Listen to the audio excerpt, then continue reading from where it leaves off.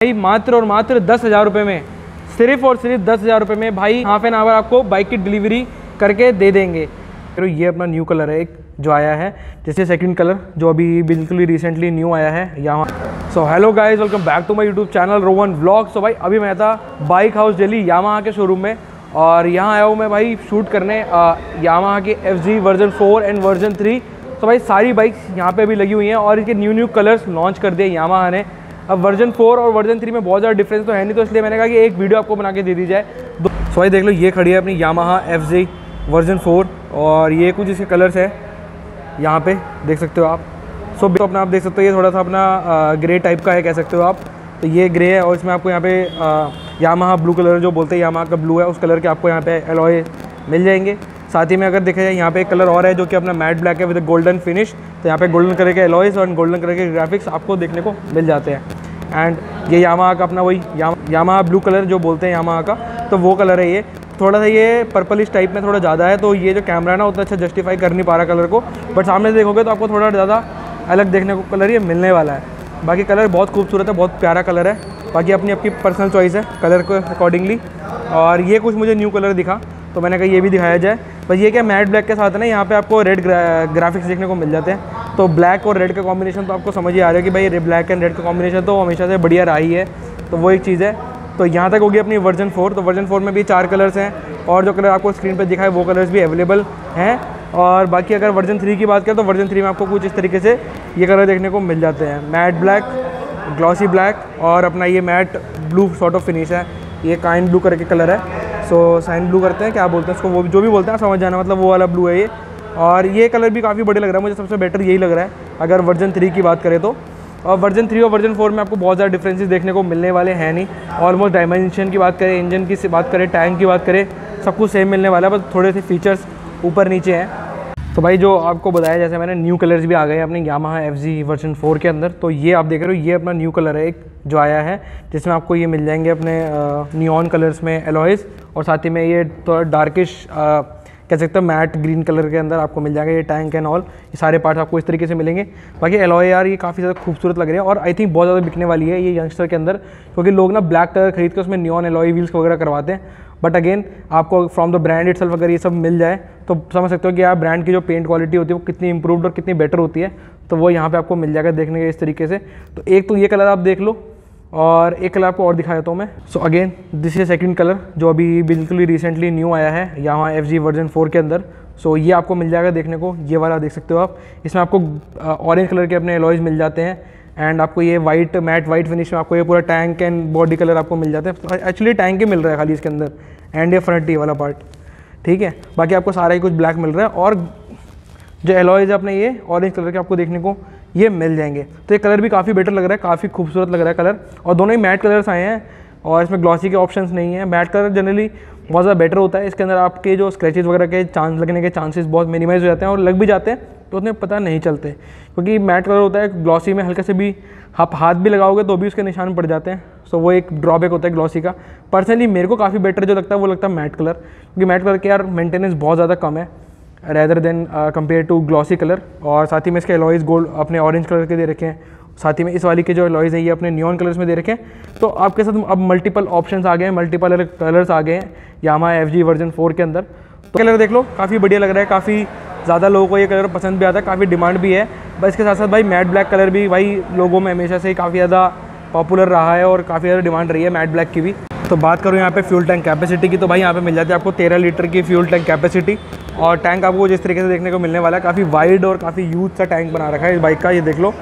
और इतना बड़ा टैंक होने के बावजूद भी अगर बाइक की वेट की बात करें तो 136 केजी की आपको बाइक देखने को मिल जाती है। जो बाइक का वेट है 136 केजीज़ है तो काफ़ी लाइट वेट मशीन है।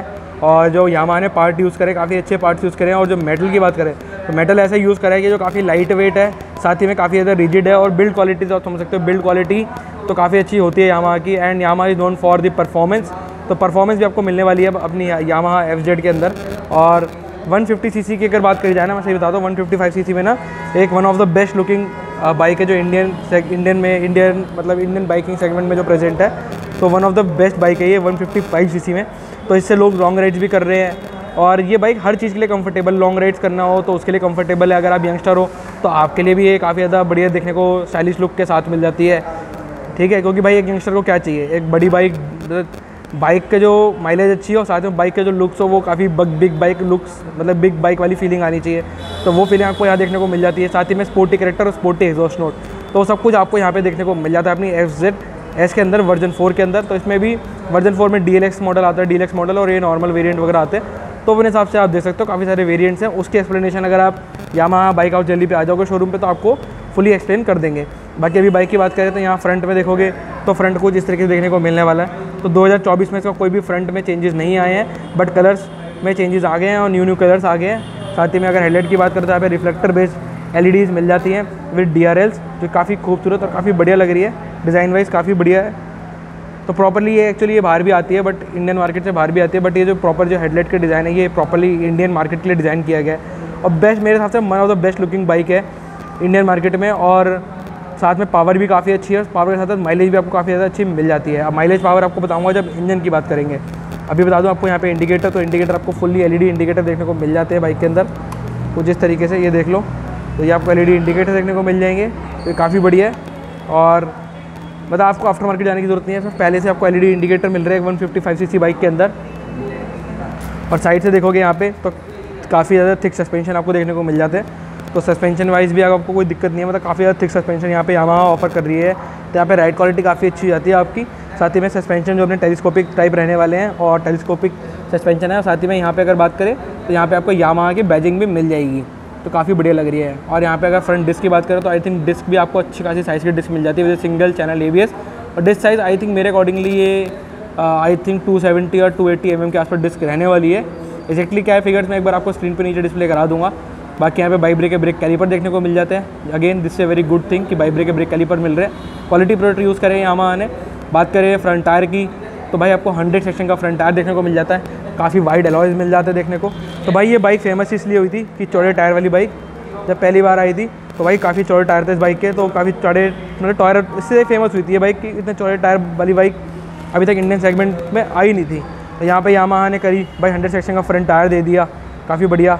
और भी एम के जैपर टायर दे रखे हैं। तो भाई काफ़ी बेस्ट टायर होते हैं ये सिटी के लिए यामाहा के जो मतलब सॉरी एम के जो ये जैपर टायर होते हैं, काफ़ी बढ़िया सिटी के लिए काफ़ी बेस्ट है और काफ़ी दिन चल जाते हैं। अब बात करें यहाँ पे अगर सीट्स की तो भाई सीट आपको सिंगल सीट देखने को मिलने वाली है। तो सिंगल सीट के हिसाब से सीट काफ़ी कंफर्टेबल है, काफ़ी वाइड है। देख लो भाई, कितनी वाइड सीट है। अपनी मदर सिस्टर किसी को भी बिठा सकते हो वाइफ बच्चे के सबको उठा सकते हो, सबके लिए काफ़ी कंफर्टेबल रहने वाली है। साथ ही में आपको यहाँ पे पीछे ग्रैब हैंडल देखने को मिल जाता है, पूरा ग्रैब हैंडल तरीके से प्रॉपरली जो लुक वाइज भी काफ़ी अच्छा है और इसको पकड़ भी सकते हैं मतलब काफ़ी अच्छा दिया हुआ है। मतलब पिलियन आपको आराम से पकड़ के इसको बैठ सकता है और काफ़ी ज़्यादा हेल्प करेगा ये मतलब पिलियन को जब वो आते हैं ना ब्रेकर्स वगैरह आते हैं तो वहाँ पे आराम से पकड़ के बैठ सकते हैं। अगर आपकी मदर सिस्टर वगैरह है तो उसमें आपको दिक्कत नहीं होने वाली। बाकी, यहाँ पे कुछ इसका जो, ये अकेली बाइक ऐसी है one fifty five C segment में, इसकी चाबी आपकी यहाँ टैंक के पास लगती है। ये तो सबकी चाबी यहीं लगती है बट इसकी अकेली चाबी यहाँ लगती है, देखो इधर की तरफ़ ऐसे। तो यहाँ पे ऐसे चाबी ऑन करोगे आप तो इसका ऐसे मीटर ऑन हो जाएगा। जो कि भाई ये मीटर पहले एमटी के अंदर आता था बट ये मीटर अब इसके अंदर भी दे दिया गया है। वही एमटी वाला मीटर है इसकी जो ग्यारह हज़ार आर तक यहाँ पे आपका पूरा वो आ जाता है। आर लिमिट दे रखी है। और टोटल मतलब ग्यारह हज़ार तक यहाँ पे यहाँ पे स्पीड आ गई है। यहाँ पे आपका आ जाएगा फ्यूल का आ जाएगा, साथ ही में टाइम आ जाएगा। बाकी इसमें ब्लूटूथ कनेक्टिविटी वगैरह आपको मिली जाएगी। तो उस पर आप अपने यामा की कनेक्टेड सारे फीचर आपको देखने को मिल जाते हैं। तो वो सब इसमें यूज़ कर सकते हो। बाकी इसमें जियो फेंसिंग वगैरह भी आती है कि आपकी बाइक इस एरिया से बाहर जाएगी तो आपको पता लग जाएगा। तो वो सब फीचर इसके अंदर यामा ऑफ़र करता है इस बाइक के अंदर। बाकी स्ट्रीट फाइटर हैंडल बार मिलता है। काफ़ी अपरेट पोजीशन है हैंडल बार की। काफ़ी बढ़िया है। बट एक थोड़ी सी अजीब लगी, जो ये पार्ट देख रहे हो, ये वाला पार्ट विजिबल सा हो रहा है। ये थोड़ा सा मुझे, थोड़ा अजीब लगा। इसको थोड़ा सा यहाँ पे कुछ प्लास्टिक पार्ट लगा के कवर कर देना चाहिए था। यहाँ वहाँ को थोड़ा सा वो विजिबल विजिबली वो अच्छी नहीं लग रहा। और बाकी हैंडल के यहाँ पे स्विचेस देखे तो स्विचेस आपको उस तरीके से मिलने वाले स्विचेस ठीक ठाक क्वालिटीज़ है। यहाँ पे आपको इंजन किल स्विच है। यहाँ पे सेल सर्ट बटन दिया हुआ है। और ये high beam low beam and pass indicator and self start button ये ये हॉर्न का सॉरी इधर दे रखा है। तो ये आपको कुछ मिल जाएगा। बाकी ये आपको थ्रोटल का हो गया एंड आपका क्लच हो गया। क्लच काफ़ी लाइट है, काफ़ी लाइट का देखने को मिलने वाला है। एंड मिरर्स की बात करें तो काफ़ी शार्प एजेस वाले मिरर आपको देखने को मिल जाते हैं। काफ़ी अलग तरीके से डिज़ाइन है मिरर काफ़ी बढ़िया लग रहे हैं। बट साथ में अगर ये वाला पार्ट पूरा ऐसा रबराइज के कवर कर देते ना तो और खूबसूरत लगता। ये मेरा पर्सनल ओपिनियन है, एक बार आपका क्या ओपिनियन है ज़रूर कमेंट करके मेरे को बताना। अब बात करें अगर रियर से तो एक बार रियर को ऑन करते हैं रियर लाइट दिखाता हूँ एक बार आपको मैं। तो रियर जो लाइट है, वो भी आपको एल मिलने वाली है। कुछ इस तरीके से मिलेगी। काफ़ी ज़्यादा इंस्पायर्ड है ये भी अपनी एमटी से, और काफ़ी बढ़िया लगती है। बाकी साथ में अगर आप इसके ये अगर टायर अगर निकाल के यहाँ पे अगर आप टेल टैडी वगैरह लगवा लो तो और खूबसूरत लगती है बाइक। और पीछे से बाइक की बात करें तो पीछे से बाइक की हाइट भी बहुत ज़्यादा नहीं है, काफ़ी लो रखी गई है हाइट, जिससे कि आपकी मदर सिस्टर को चढ़ने के लिए, बैठने के लिए ईजी रहे। तो ये कह सकते हैं ये जो एक बाइक है ना, ये प्रॉपरली भाई बहुत सोच समझ के यामा ने डिज़ाइन करी है for the Indian road for the Indian customers तो वही चीज़ है। बाकी रियर टायर की बात करें तो भाई रियर टायर की प्रोफ़ाइल काफ़ी अच्छी है, देख लो मैं को दिखाता हूँ आपको। Again this one forty section जैपर tyre तो सी का यहाँ पर टायर दिया हुआ है। ये देख लो, ये ये ये सी एट के टायर अब इसमें आप एमआरएफ के भी लगा सकते हो, साथ ही में वन फिफ्टी सेक्शन तक का टायर आप आराम से डाल सकते हो, कोई दिक्कत नहीं होगी। क्योंकि भाई काफ़ी ज़्यादा वाइड आपको एलॉइज में देखने को मिल जाते हैं, और बॉक्स सेक्शन स्विंगम आप देखो, देखने को मिल जाएगा ये तो ये आपको पूरा बॉक्स सेक्शन स्विंगम है, और स्विंगम भी काफ़ी अच्छा है, काफ़ी थिक से स्विंगम दे रखा है, और काफ़ी अच्छी क्वालिटी का है। वही बताया जैसे आपको मैंने स्टार्टिंग में कि भाई यामा के जो, ये जो एक्चुअली जो ये मटेरियल यूज़ करते हैं स्विंगम वगैरह जो लोहे को ये यूज़ करते हैं जिस भी जिस भी क्वालिटी के लोहे को यूज़ करते हैं तो वो काफ़ी लाइट वेट होता है बट काफ़ी रिजिड होता है। इसीलिए यहाँ पे अगर आप यामा की बाइक देखोगे ना तो काफ़ी ज़्यादा लाइट वेट रहती है बट क्वालिटी में काफ़ी ज़्यादा इम्प्रूवड होती है। और बहुत लॉन्ग टर्म तक इसमें कोई दिक्कत आती नहीं है एफ़ के अंदर। ये मेरा पर्सनल मैंने देखा है, काफ़ी ज़्यादा एफ़ जो मैंने पुरानी वाली हैं, देखी हैं, उनके अंदर कोई दिक्कत नहीं आती है। और नई वाली में भी ऐसे कोई इशूज़ अभी देखने को नहीं मिल रहे हैं। तो काफ़ी ज़्यादा रिलायबल मशीन आप कह सकते हो उसको बाकी यहाँ पे एक चेंजेस करें यहाँ वहाँ ने, वो चेंजेस क्या करें कि पहले यहाँ पे आपको अंडरबेरी देखने को मिलता था। ये स्पेस देख लो, यहाँ पे खाली स्पेस दिख रहा है आपको। तो स्पेस खाली नहीं है, पहले यहाँ पे एक अंडरबेरी था तो जैसे यहाँ पे एग्जॉस्ट आता था, और इसको हटा दिया अब इसको स्ट्रेट पाइप कर दिया ये देख लो यहाँ पे आप। ये पूरा स्ट्रेट पाइप कर दिया आगे एक ऑक्सीजन सेंसर दे दिया यहाँ पे कैटलिक कन्वर्टर और पूरा स्ट्रेट कर दिया उससे क्या हुआ है कि इसका एग्जॉस्ट नोट काफ़ी ज़्यादा इंप्रूव हो गया है, और काफ़ी स्पोर्टी साउंड करती है, पहले से ज़्यादा अच्छा साउंड करती है ये। तो एक यही कमी थी इस बाइक के अंदर कि थोड़ा एग्जॉस्ट नोट इसका पहले थोड़ा सा अलग तरीके से आता था, पर अब काफ़ी ज़्यादा एक स्पोर्टी और काफ़ी अच्छा साउंड करती है। क्योंकि भाई एक यंगस्टर को एक बताया ना, जैसे आपको मैंने, कि भाई एक यंगस्टर को चाहिए क्या? एक्सपोर्टी एग्जॉस्ट नोट अच्छी लुक वाली बाइक अच्छी पावर और अच्छी माइलेज और माइलेज की बात कर ही रहे हैं तो बताई देता हूँ माइलेज की मैं भाई। सिक्सटी की माइलेज आपको आराम से देखने को मिल जाती है एक सौ पचपन सी बाइक के अंदर। और एक सौ पचपन सी बाइक बोलने के लिए, अगर आप देखोगे बाइक की जो टायर्स हैं बाइक की जो विड्थ है और बाइक की जो लेंथ है, उस हिसाब से देखोगे तो बाइक कहीं से भी लगती नहीं है कि this is one fifty five C bike और बात करें यहाँ पे इंजन की तो भाई आपको इंजन मिल जाता है यामाहा का 155 सीसी का एक एयर कूल्ड इंजन है, जो कि properly again this is properly design for develop for the Indian market for the Indian condition and Indian roads क्योंकि भाई, ये इंजन भाई, बजार भी हीटिंग नहीं होती इस इंजन के अंदर। कहीं पे भी आप कितने भी ट्रैफ़िक में चलाओ, कितने भी बिड़बड़के में चलाओ, आपको कोई भी यहाँ पे हीटिंग इश्यूज़ देखने को नहीं मिलने वाले हैं। इस इंजन के साथ पावर भी काफ़ी अच्छी है ट्वेल्व पॉइंट टू बी की पावर है थर्टीन पॉइंट टू मीटर का टॉक देखने को मिल जाता है। तो पावर तो वेट रेशियो भी ठीक हो गया है वन थर्टी के के आसपास इसका वेट है। तो वेट भी काफ़ी कम है और अच्छी खासी पावर देखने को मिल जाती है।